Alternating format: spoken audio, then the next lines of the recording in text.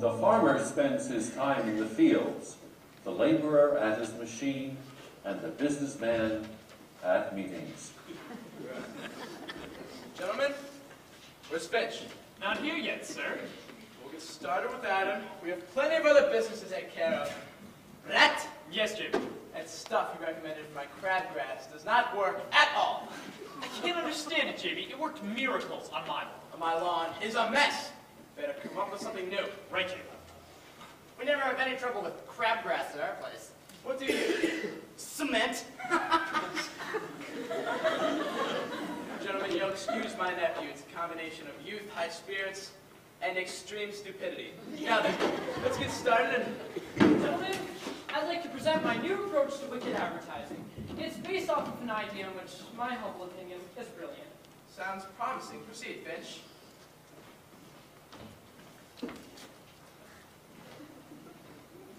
What the hell is that? A picture of Mount Vesuvius in eruption. This gives you an idea that the new impact of our new television show is going to have. Very interesting. Thank you. Now, here's a potential wicket market divided into social, geographical, and ethnic groups.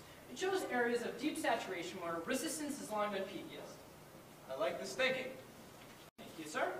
And now, here's a sales chart of the past fiscal year. Note the sharp decline in regularity. Down, down, down. And this is what's going to happen to our sales once we get going, as we will. Up, up, up. And there we have it. Finch, I think you've done it. Nice job.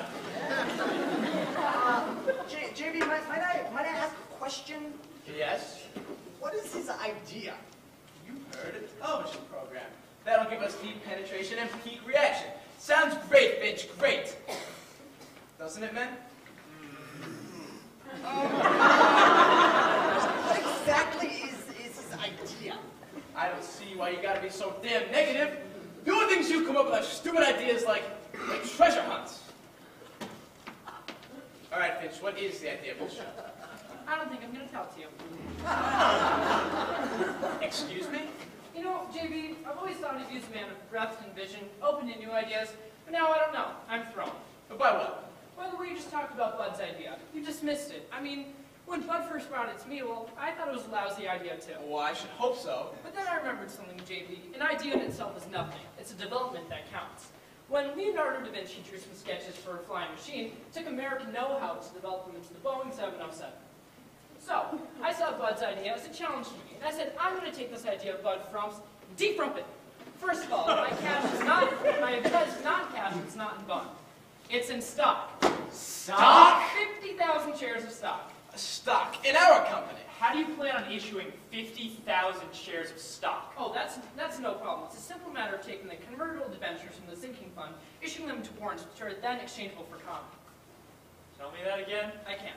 It can't be done. It can't be done. But if it could, wouldn't it create a tremendous excitement? But it can't be done. But if it could. It can't. But if it could, JB, say for just one moment it could be done. What's your answer? I forgot the question. Stock. Well, gentlemen, that's why I have a new twist.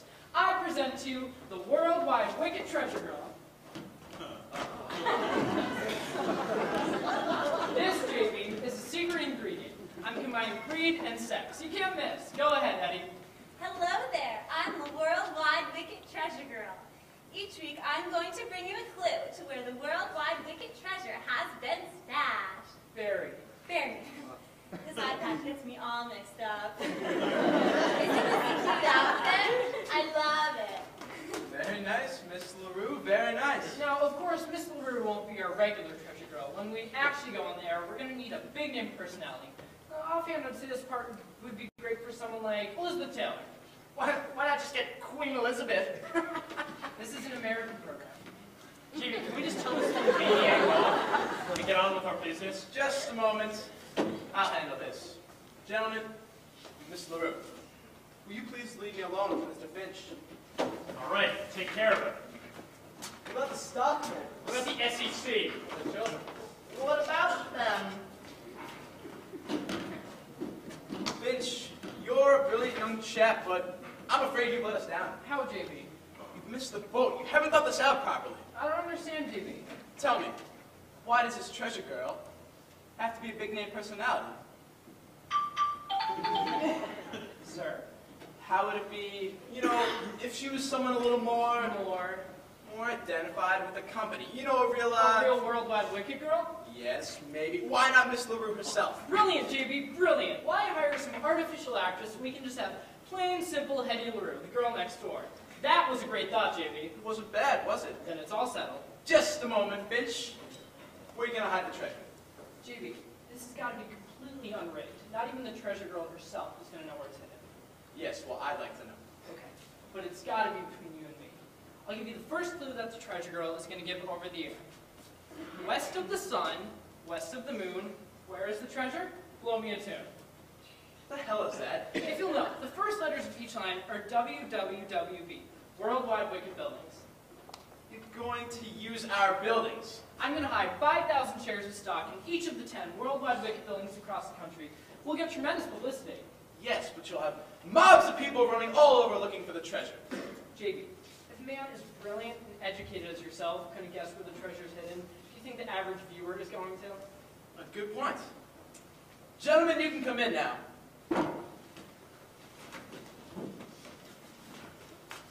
Gentlemen, I'm thinking of going ahead with the worldwide wicket treasure hunt.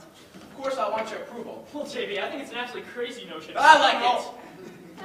I like it.